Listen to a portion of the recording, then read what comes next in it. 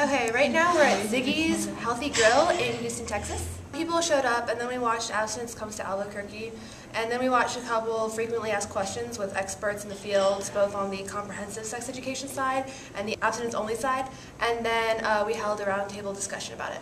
What they talked about was, okay, uh, look, first to start with little things. Okay, your armpits smell. Yeah, they give you a bag with like a little red stripe. They- Yeah, You- you- red stripe pays for that. Face wash and. They explain, you know, they explain that there is there's semen uh, that your your penis can't produce. Okay. They separated the boys and the girls, and they played a video for the boys to tell us about like semen and I remember I was that. always curious yeah. what the boys movie was. I never got to see it, and but then I've always wanted they to. showed like a, a relaxed penis when you No, no, no, erect I did the not penis, know and the it way. was- No one had really received any sex education. They might have had a reference to it by a gym teacher, or someone might have been tired to come into the schools. My mom awkwardly told me one day that you know what, what my husband, your father, and I, we had to have sex to have you.